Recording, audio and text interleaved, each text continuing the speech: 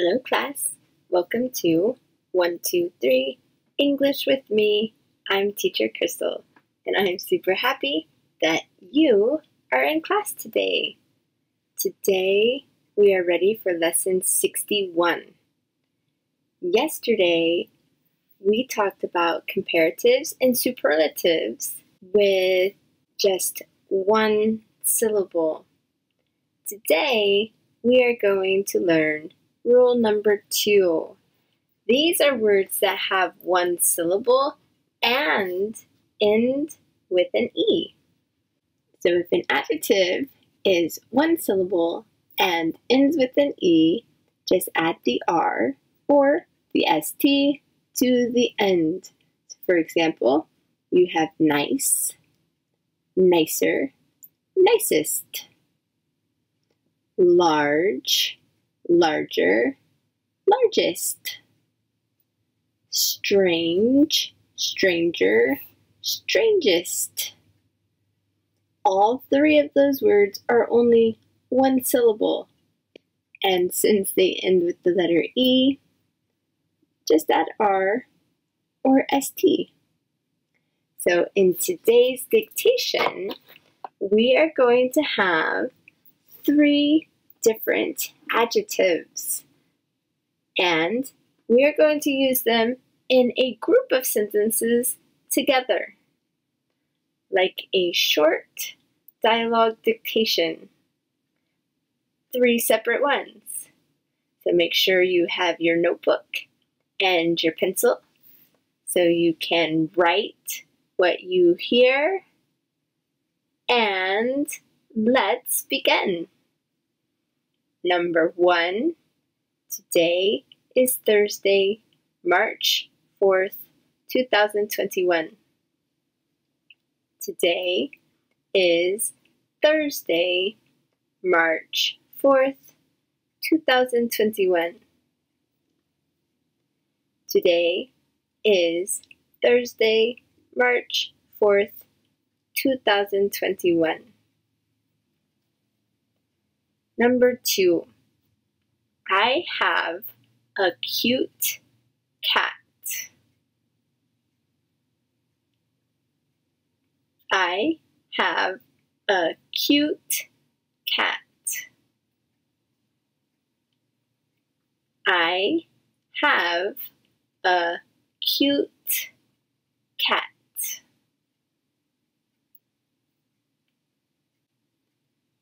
Number three, the kittens are cuter. The kittens are cuter.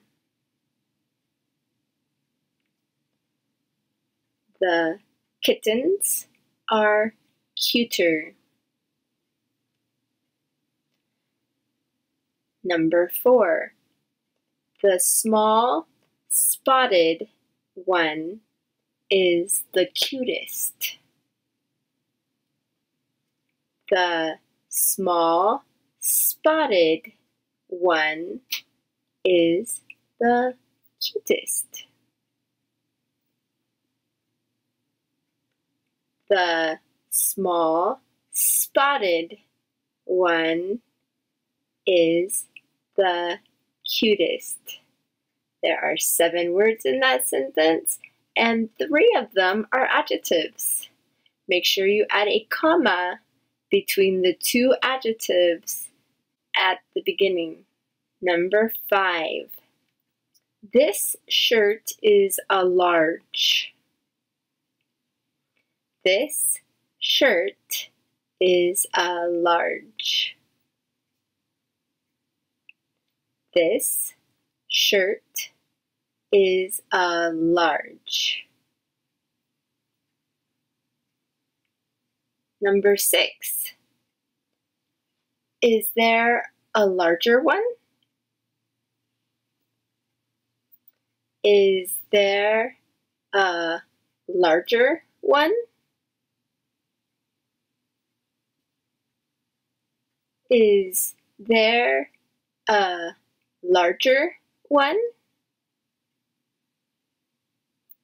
Make sure you put in the correct punctuation in that sentence.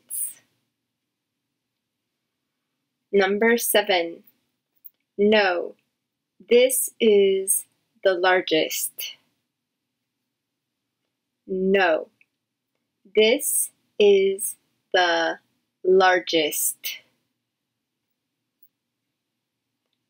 No, this is the largest.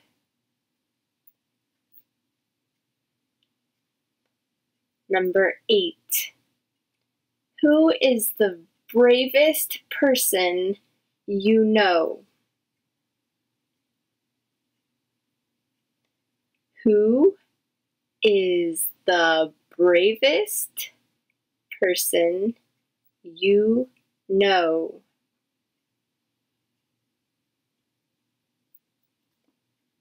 Who is the bravest person you know?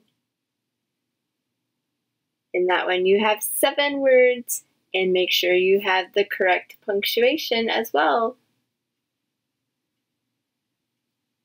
Number nine, my brother is brave. My brother is brave. My brother is brave. Number 10. Yes, but my dad is braver.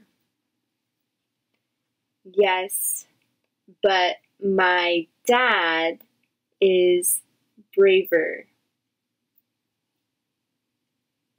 Yes, but my dad is braver.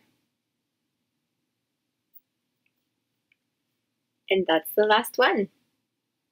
Did you get all 10 sentences written in your notebook? Remember, you can write them the best you can. It's okay if you can't write all of the words. If you need to push stop on the video, you can, and just push play when you're ready. Now let's check them together. You can fix your mistakes so that they are written correctly in your notebook. Number one, today is Thursday, March 4th, 2021. Today begins with a capital T because every letter at the beginning of your sentence begins with a capital letter. Thursday begins with a capital T because it is the specific day of the week. March begins with the capital M because it is a specific month of the year. Fourth is an ordinal number because when we say the date out loud, it is pronounced as an ordinal number. There's a comma that separates the day and the month, a comma that separates the date and the year, and a period at the end. Today is Thursday, March 4th, 2021. In the United States, this is the correct date format. The day should come first, and then the month, and then the date and the year. Number two, I have a cute cat. Cute is the adjective. There is no comparison at this point. So it is just the adjective, no change. The adjective cute describes the cat. Number three, the kittens are cuter. Cute ends with E, so you can just add an R to make the comparative form. We use the comparative form when you're comparing two things. So we are comparing the kittens with the cat. And number four, the small spotted one is the cutest. Small, spotted are both adjectives, so you need a comma to separate them. The small, spotted one referring to the kitten, is the cutest. Cutest is the superlative form. It is comparing all of the kittens. So we use EST at the end, but since Q ends with E, you just add ST. Number five, this shirt is a large. Large is our adjective that describes the shirt. There's no comparison at this point, so large is in its normal form, no changes. But in number six, is there a larger one? This is a question, so you should have a question mark at the end. Larger is comparing to this shirt. This shirt is large, but is there a larger one? One refers to the shirt. Number seven, no. This is the largest. This is the answer to number six. No, comma, this is the largest. The largest is the superlative form. It is comparing all of the shirts that are there. There is not one that is larger than this one. Number eight. Who is the bravest person you know? We started with the superlative form this time. The bravest. Brave ends with E, so you just add ST. That means out of all the people you know, who is the bravest? And answer in number nine, my brother is brave. There's no comparison.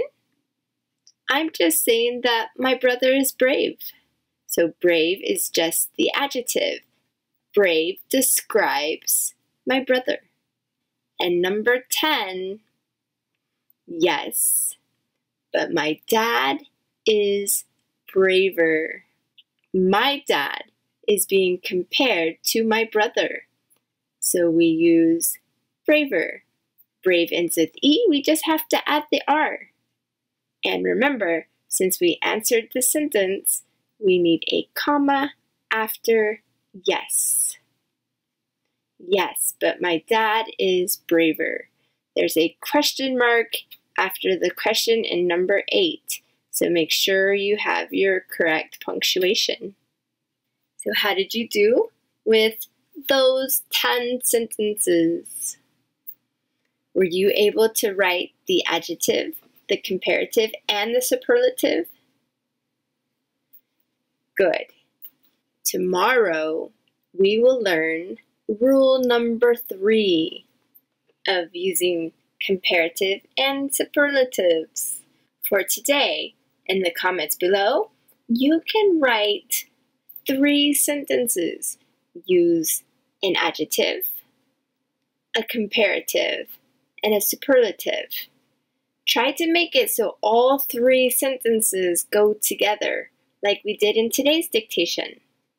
If you have any questions, you can always ask in the comments below, or you can join our Facebook page at 123 English with me so you can participate in the conversations there. So thanks for coming to class today. I will see you again tomorrow. And make sure you hit subscribe if you want to follow along.